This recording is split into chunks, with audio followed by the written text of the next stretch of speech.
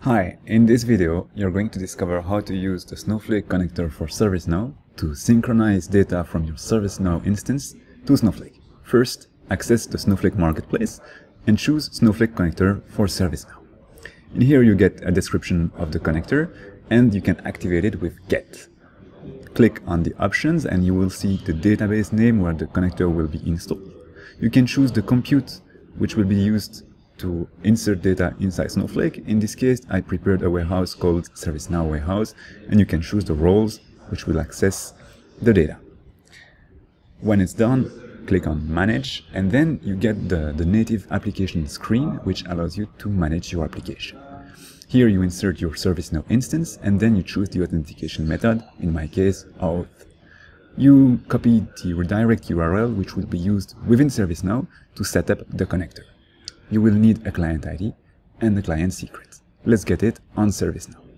Within my admin console, I look for OAuth and then application registry. In the application registry, I can create a new OAuth API endpoint uh, for the external clients and I give it a name. In this case, I call it Snow Connect and this is where I will get my client ID and my client secret auto-generated. I put in my redirect URL and save.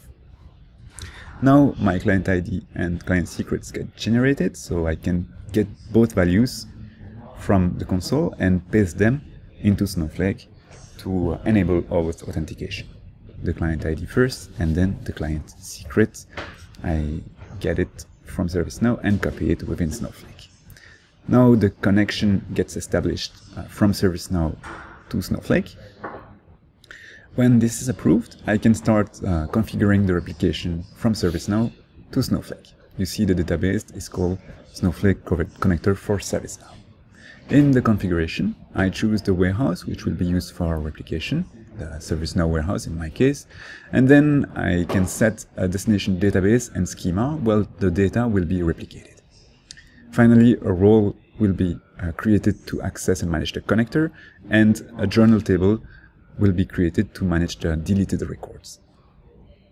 Now that the connector is successfully configured, I can choose which tables I will actually replicate from ServiceNow.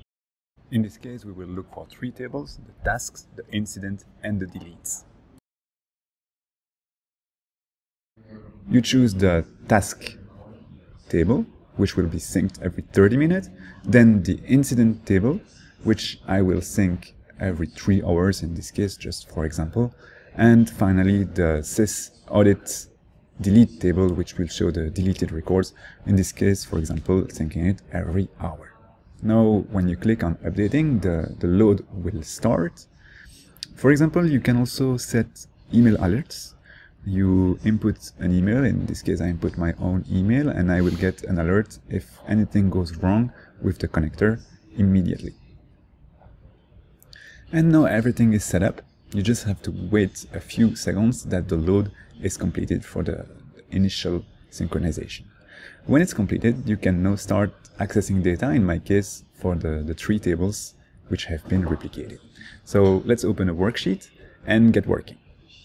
ServiceNow connector, and here I can select from the public schema the connector stats table, which gets created automatically, and it gives me statistics about all the runs which have replicated data from ServiceNow to my Snowflake instance. You can see the number of updated rows, the throughput, the duration for each of the run. Then you have a config table, which lets you see the concurrency, the, the version of the connector, and then I set up an alert to my email so you can see the, the alert information. When you want to actually query data, you can use a role. In this case, I use the role account admin to create a new role, ServiceNow reader role, and I grant it all the necessary privileges to access the data. Finally, I grant that new role to my user, M. Simon, and I use that role to access data. So within the destination schema, I prepared here a sample query. I will go query the task view, the incident view and the sys audit delete view, which gets created automatically uh, by Snowflake. And in this case, I do a simple aggregation by year and by month. and by priority of the number of incidents created. So each month I can see the number of incidents created by priority.